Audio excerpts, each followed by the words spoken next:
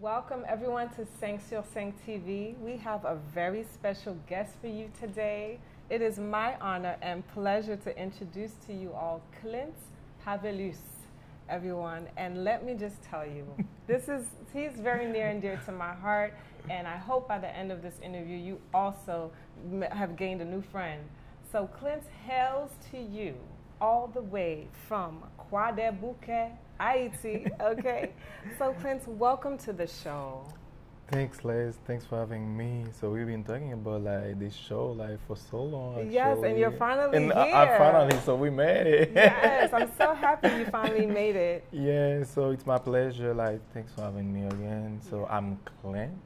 All right. As you just said, I'm from Haiti. Guadeloupe. Yeah. So, so we're gonna talk. We're gonna talk. We're gonna get into some stuff. So um, for those of you who don't know, he is a Haitian singer, um, but you have some influences in you. So let us know. Let's start from the beginning because we got time. We're going to pace this out. so, how did you get started in music?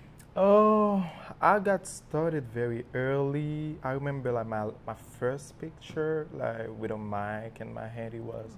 I was in kindergarten, Aww. like from kindergarten to elementary, you know. So I like became like you know a star at school. Oh, then wow. like continue, cause I grew up in voodoo. My okay. father was a voodoo priest. Okay. Then so I started singing like some voodoo stuff. Then switched to church, you know. All right. So that's where the vibe. You then like go to school like art school. All right. Then so the roots. Oh the roots, goodness. yeah. All right. So for those who don't know that Ougan, right? All right. This is Racine culture here we're talking don't about. Don't make them scared. oh, please. It's a beautiful, beautiful culture. Haiti is very rich. So what would you say was one of the first songs you sang at that tender age? You know, you're so young. What was this, what was the kind of music you were into and singing? Would it be folklore? Was it? Yeah, it, it was like for sure it was folklore, you know, some Erzili song. Okay, like, okay.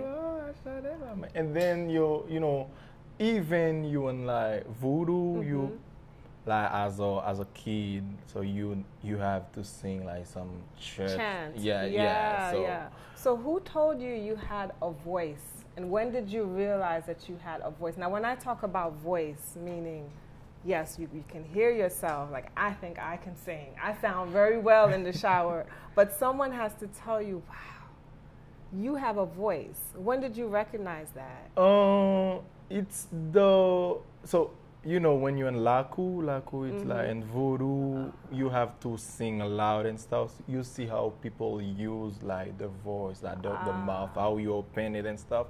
Then you know you can do it uh, after like a certain time, like being like with them, so like Nolakua. Yeah. So now you, if you're not shy, you know, so okay, you're gonna do it and bathroom okay. and then so sing loud because in voodoo it's like okay, you sing, you do, it's like a number, you do a okay. number, then so I you follow. Yeah, I take yeah, you take okay. turns in voodoo.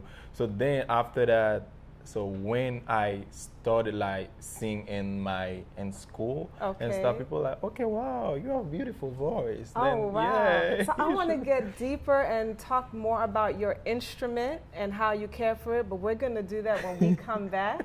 So get ready to talk For about sure. that, and we'll be right back.